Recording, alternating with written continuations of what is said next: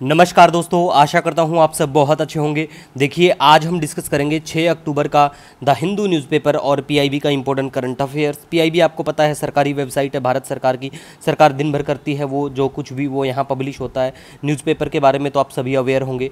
और हमारा current affair आपके सभी एग्ज़ाम के लिए काम का रहेगा चाहे यूपीएससी का कोई भी एग्ज़ाम हो, किसी भी राज्य का पीसीएस एग्ज़ाम हो या कोई भी वनडे एग्ज़ाम एसएससी बैंकिंग सभी के लिए हमारा करंट अफेयर काम का रहने वाला है। तो लीजिए स्टार्ट करते हैं। सबसे पहले बात करेंगे, देखिए आज हम भिक्षु भिक्षु संघ के बारे में। देखो भिक्षु संघ जो है भिक्षुओं का समुदाय है, बौद्ध धर्म से संबंध रखता है और ये समुदाय रिसेंटली चर्चा में इसीलिए आता है कि ये हमारे प्राइम मिनिस्टर साहब को धन्यवाद देने के लिए उनके पास पहुँचते हैं। धन्यवाद किस बात का आप सभी को पता होगा, पाली लैंग्वेज जो है, उसको शामिल किया गया है हमारी जो क्लासिकल भाषाएँ हैं उनमें, ठीक है? तो क्लासिकल लैंग्वेज के बारे में आपको पता होगा, क्या कुछ क्राइटेरिया उनका होता है। वो सरकार का जो एक कटआउट था, मैंने हमारा जो टेलीग्राम चैनल है डेली द हिंदू नोट्स। वहाँ पे ऑलरेडी पीडीएफ एक अपलोड कर दिया है चेकआउट कर लेना उसको, ठीक है?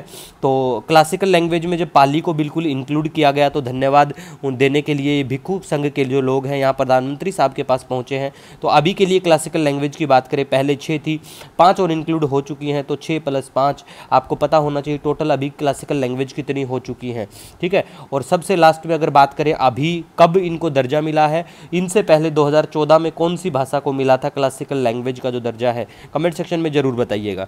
नेक्स्ट हम बात करेंगे नगाड़ा के बारे में। देखो, नगाड़ा बजाते हुए प्रधानमंत्री साहब शिरकत करते हुए आपको वो भी पिक्चर दिखाएँगे। और नगाड़ा जो है, बंजारा संस्कृति का एक प्रमुख वाद्य यंत्र है। बंजारा संस्कृति, बंजारा समुदाय के जो लोग हैं, वो आपको गुजरात में नज़र आएँगे, वो आपको राजस्थान में नज़र आएँगे, वो आपको झारखंड और छत्तीसगढ़ का जो एरिया है, वहाँ भी बंजारा समुदाय के लोग आपको नज़र आएँगे। ठीक है? तो ये थोड़ा याद रख लो कि नगाड़ा जो है बंजारा संस्कृति का एक प्रमुख वाद्य यंत्र है नगाड़ा, ठीक है? उसके बाद में बात करें तो डीआरडीओ चर्चा में आया आज, चौथी पीढ़ी, फोर्थ जनरेशन की, बहुत कम दूरी की वायु रक्षा प्रणाली वी शॉर्ड्स का सफलतापूर्वक परीक्षण किया गया है। तो देखो, सबसे पहले तो जो परीक्षण किया गया है, इसके बारे में तो आपको पता ही होना चाहिए कि ये जो है वी शॉर्ड जो है एक मानव पोर्टेबल रक्षा प्रणाली है, जिसे अनुसंधान केंद्र इमारत द्वारा डीआरडीओ प्रयोगशालाओं के सहयोग से स्वदेशी रूप से डिज़ाइन और विकसित किया गया है। इंडिजिनसली है मतलब याद रखना स्वदेशी तरीके से, ठीक है? उसके साथ आपको ये भी पता होना चाहिए, डीआरडीओ की फुल फॉर्म क्या है? पहली बात तो ठीक है? दूसरा, आपको इसरो का भी पता होना चाहिए कि इसरो की फुल फॉर्म क्या है, इसरो का मोटो क्या है? क्योंकि कई बार देखिए, ऐसा होता है, जो ये हमारे पीसीएस के एग्ज़ाम होते हैं, चाहे यूपी हो, बिहार हो, हरियाणा, राजस्थान, पीसीएस के एग्ज़ाम एग्ज़ाम में ऐसी चीज़ें डायरेक्ट देखने को मिल जाती है। कई बार तो आपको एसएससी और बैंक के जो पेपर हैं, उनमें भी ऐसी चीज़ें देखने को मिल जाएगी कि वो लोग पूछ लेते हैं कि रिसेंट इसरो का चेयरमैन कौन है, इसरो का मोटो क्या है है ना? तो ये चीज़ें बिल्कुल आपको पता होना चाहिए, आपको ध्यान रखना है, ठीक है गाइज़ तो इसी तरह डीआरडीओ का पता होना चाहिए कि डीआरडीओ का मोटो क्या है। बलश्य मूलम विज्ञानम, ठीक है? ये मोटो है, शक्ति की उत्पत्ति विज्ञान में है, ठीक है? तो ये मोटो है मोटो बिल्कुल आपको पता होना चाहिए। संस्कृत में लिखा हुआ है बिल्कुल तो आपको ध्यान ध्यान रखना है, ठीक है? उसके साथ साथ इसकी स्थापना उन्नीस में होती है। हेडक्वार्टर नई दिल्ली में है। हेडक्वार्टर अध्यक्ष के बारे में बात करें तो डॉक्टर समीर वी कामत जो है, इसके अध्यक्ष हैं। ये आपको ध्यान रखना है डीआरडीओ के, ठीक है? और ये डीआरडीओ जो है, रक्षा मंत्रालय के अधीन एक एजेंसी है, ठीक है गाइज़ नेक्स्ट हम बात करेंगे यहाँ पे विश्व सेरेब्रल पालसी दिवस के बारे में। ये दिवस जो है छः अक्टूबर को बिल्कुल मनाया जाता है। बस थोड़ा याद रखना, वैसे इतना कुछ खास इंपॉर्टेंट ये बिल्कुल भी नहीं है, ठीक है? नेक्स्ट अब हम बात करेंगे ए एन थर्टी टू और आई एल सेवेंटी सिक्स ये क्या है? ये विमान है।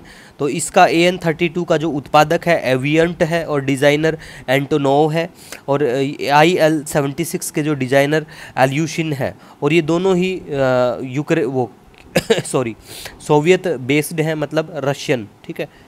तो इतना आपको याद रखना है कि रशियन, ठीक है? और आरबीआई के जो डिप्टी गवर्नर हैं, एम राजेश्वर राव, इनका कार्यकाल बढ़ाया गया तो ये आपको पता होना चाहिए कौन है, ठीक है?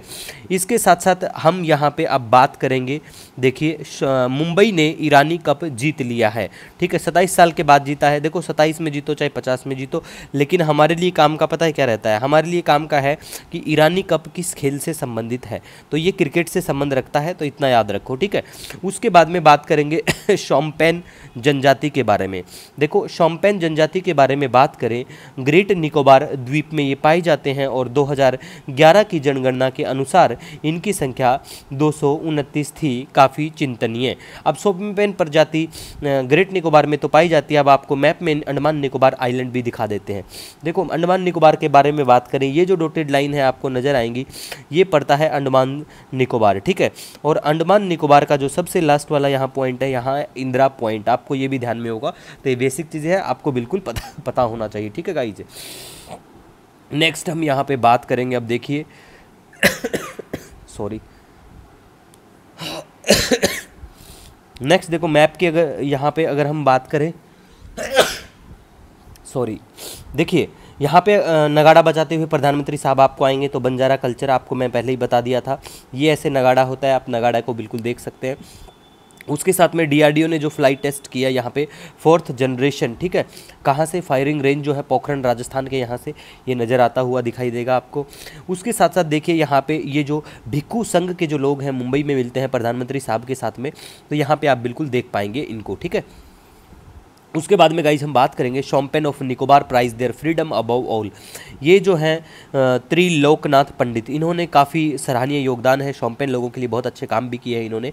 ये director of anthropological survey of India रह चुके हैं। तो ये बिल्कुल आपको ध्यान रखना है, ठीक है गाइज़ इसी के साथ देखिए, मैं तो आपको यही कहूँगा, कोई सजेशन कोई सुझाव है आपका तो कमेंट सेक्शन में ज़रूर बता दिएगा, क्योंकि आपसे ही हम हैं, और आज है संडे और संडे को हम लोग आठ बजे लाइव आएँगे। आठ पी हम लाइव आते हैं संडे को टेलीग्राम चैनल पर हमारा टेलीग्राम लिंक आपको हर वीडियो के नीचे मिल जाता है, ठीक है? और आप मेरे लिए बहुत महत्व रखते हो। कोई कमेंट सेक्शन में कमेंट हो, कोई सजेशन, सुझाव हो तो बिल्कुल आपका स्वागत है। मिलेंगे नए दिन के साथ, तब तक के लिए जय Hind, wish you all the best.